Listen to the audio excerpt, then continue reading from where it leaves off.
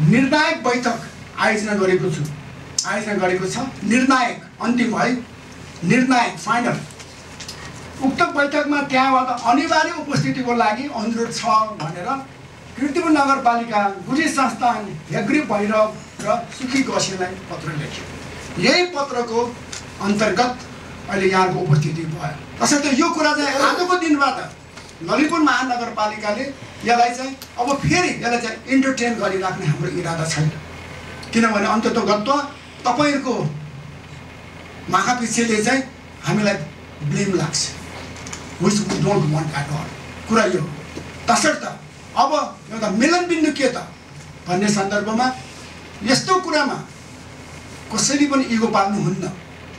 सोह्र सय उनासी वर्षदेखि चाहिँ अनवरत रूपले चाहिँ जुन प्रसाद वितरण गर्ने प्रसाद ग्रहण गराउने एउटा परम्परा छ। त्यो परम्परालाई चाहिँ अब सोह्र सय अस्सी वर्षमा आएर चाहिँ टुट्यो भन्यो भने हाम्रो इज्जत कहाँ राख्ने? हाम्रो सम्पदाको कुरा निस्किन्छ। त्यो सम्पदाको विषयमा हामीले कुरा गर्नु त बेकार छ। त्यो बकुमखुसी कुरा हुन्छ त्यो। हामीले यत्रो कामहरू गरिरहेका छौँ। त्यो कामको अगाडि पनि खासै यो कुराले चाहिँ बढी मान्यता राखेर त्यो काम चाहिँ ओझेल्नुपर्छ तसर्थ मेरो विनम्र अनुरोध छ कि यतातिर चाहिँ पेङ्ग थाहाको तर्फबाट अन्यथा कुरा नगर्नुहोस् टुङ्गाइदिनुहोस् एउटा सेफ ल्यान्डिङ भनेको यही हो हेर्नुहोस् प्लेन उड्यो तेल सिद्धिन लाग्यो क्रास होला त्यो क्रास भयो भने who is going to take the responsibility उहाँले त भन्नुहुन्छ हामी त ज्यान के पनि जान्नु उहाँले धेरै पटक भनिसक्नुभयो उहाँहरू आएन भने तपाईँको त्यो मूर्तिको के मतलब रह्यो केही मतलब रहन्छ त्यो मूर्तिको केही पनि मतलब रहँदैन तसरी यस्तो कुरामा चाहिँ इगो पाल्नु हुन्न भन्ने चाहिँ मेरो तपाईँलाई विशेष विशेष अनुरोध छ।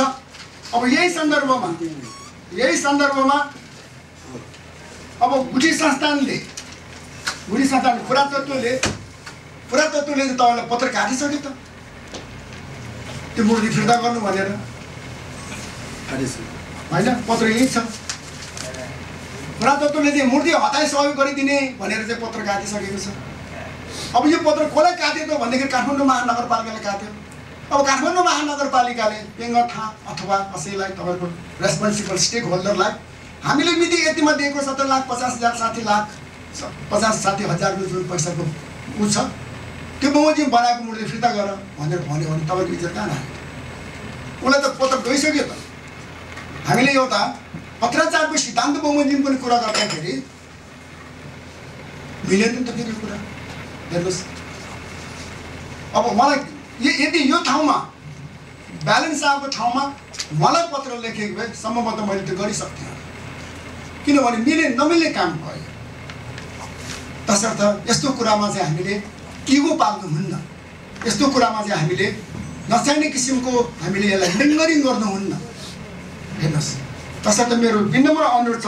यतातिर हामीले चाहिँ यसलाई लिङ्गरिङ नगरौँ। यहाँले अघि नारायणजीले भन्नुभयो प्राण प्रतिष्ठान गरेको छैन। अफकोर्स यो गरेको छैन।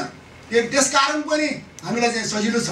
र प्राण प्रतिष्ठान नगरेको मूर्तिलाई चाहिँ मतलब छ सात सय किर्तिपुरवासीले चाहिँ बाजा गाजा बजाएर लिएर गयो।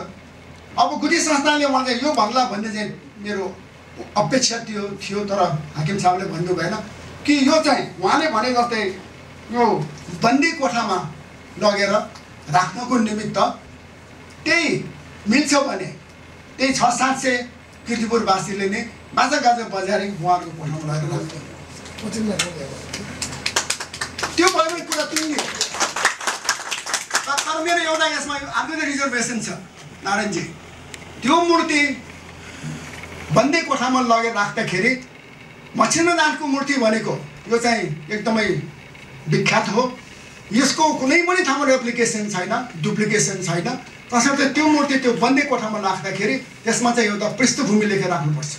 त्यो पृष्ठभूमि चाहिँ त्यो मसिनोनाथको पटुकामै बाँधेर राख्ने हो कि अथवा एउटा धरोहरको कुनै एउटा नमासिने ननासिने कुरामा चाहिँ राखेर राख्ने हो। यहाँ चाहिँ लेख्नु पऱ्यो कि यो यो यो अहिले हाम्रो जति कुराहरू गऱ्यौँ यसको पृष्ठभूमि लेखेर त्यो मूर्तिसँग यो पनि राखेर टुङ्गाइदिनु त भइहाल्यो। ताकि भविष्यमा कोही पनि मतलब व्यक्तिले अब भनौँ न हामी कति वर्ष बाँच्छौँ होइन? हाम्रोभन्दा तिन चार जेनेरेसन पछिको मान्छेले त्यो बन्दै कोठा खोलेर हेर्दाखेरि त बाफरे बा मसिनाथ त यहाँ पनि रहेछ।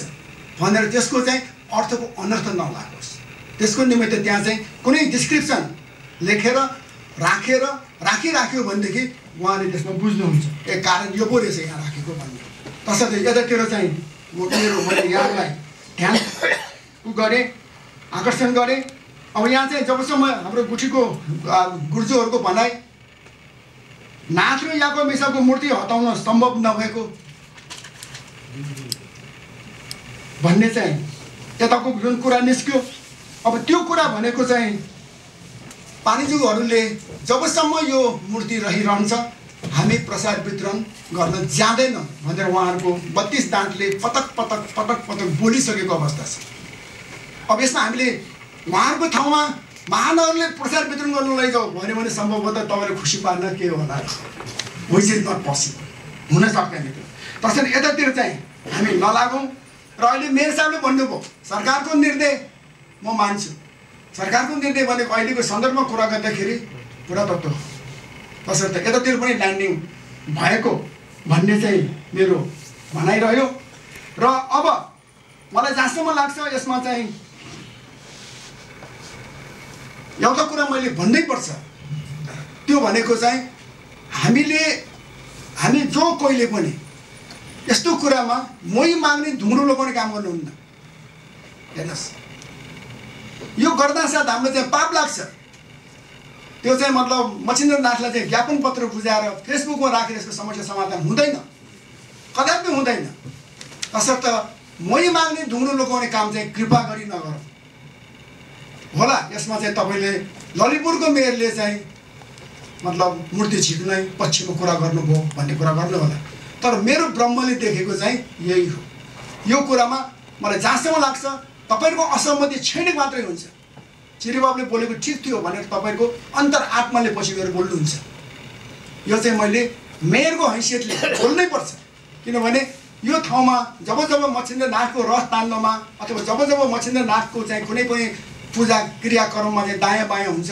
मेरोलाई आरोप लाग्छ अनायासै अनि त्यो आरोप लगाउनुको निमित्त माहिर मान्छेहरू पनि हाम्रो महानगरमा थुप्रै छन्। तसर्थ मैले यो बोल्नै पर्छ भन्नै पर्छ कि यो कुरामा चाहिँ तपाईँ हामीले अन्यथा गर्नु हुँदैन। यसलाई चाहिँ मतलब आजको बैठकमै आजको बैठकमै यसलाई चाहिँ सेटल भयो। हामी केवल सेटलमेन्ट भयो। त्यो भनेको चाहिँ मूर्ति झिकेर मूर्ति लगेर चाहिँ बन्दी कोठामा लगेर गुठी संस्थानको बन्दी कोठामा लगेर बुझाइदिने। बस त्यो भयो भने विश्लेषण चाहिँदैन कि? बुझ्नुभयो होला नारायणजी। तसर्थ यो युनिभर्सल ट्रुथ भयो यस्तो कुरामा हामीले फेरि टाइम बाई गरेर ठिक छ अब हाम्रो हामी कहाँ चाहिँ यो रड बनाउने काम अगाडि नआइदिएको भए सम्भवतः हामी यति हतारिनु पनि थियो होला। तसर्थ मैले अलिक कराइका साथ पत्र लेखेको कारण पनि त्यही हो। योभन्दा अगाडिको बैठक बोलाएँ। कोही कोही आइदिएन। नआएपछि अब अब पनि आएन भनेदेखि त बल त हाम्रो कोर्टमा रहिरहने भयो। तसर्थ अलिक कराइचिती लेखौँ भनेर कराइचिती लेख्यौँ।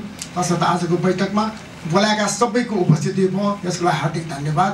र यो स्केलको बैठकले पृथ्वी गोलो छ भनेर निर्णय गर्नुमा चाहिँ हिचकिचाउनु पर्ने आवश्यकता छैन। है नारायणजी तपाईँको तपाईँहरूको जुन किसिमको एउटा तर्कपूर्ण अभिव्यक्ति छ त्यसलाई हामी सम्मान गर्दै आजको यो बैठकमा चाहिँ भर्खर भने जस्तै त्यो निर्णय हामी गरौँ। हामी मुख्य मुख्य व्यक्तिहरूले त्यसलाई चाहिँ पुच्छे साइन गरेर यसलाई आज टुङ्ग्याउँ। हाम्रो प्रेसका साथीहरू पनि थुप्रै हुनुहुन्छ। हामी उहाँहरूलाई दिएर चाहिँ आजको यो कुरा चाहिँ मैले